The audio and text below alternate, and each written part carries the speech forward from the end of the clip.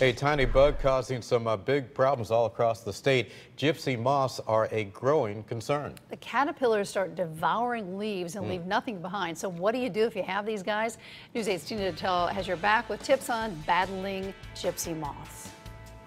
The state says here along I-95 in Stonington there is a total deforestation of groups of trees here along the highway. And we are told uh, that is the work of these gypsy moth caterpillars. The dry weather is being blamed for the infestation of these caterpillars and others.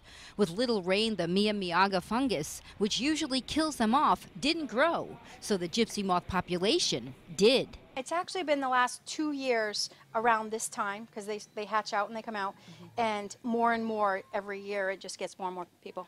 Michelle Wells works at Agway in Plainfield and says Tanglefoot, which is put on this tape, is now on back order because so many people are looking for it to keep the caterpillars from climbing up their trees. You put this on, and it's a sticky goo yellow stuff.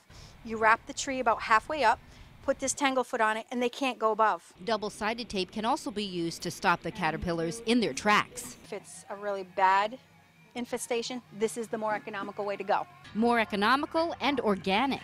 Captain Jack's Dead Bug Brew may be the way to go for those who like to keep it all natural. There are also other chemicals which get rid of the tree-eating insects. You can hook it to a hose. Again, gypsy moth does all types of caterpillars and it's an eight-week control. Whichever method you choose can be used before or after you see damage the caterpillars are there and you just want to saturate that whole thing. And on the labels, it's going to tell you how, how much to spray, how to use it, how to mix it. What many see as good news now is that because of last week's rain, which spurred the growth of that fungus, many of the caterpillars which have been eating these trees are now dead.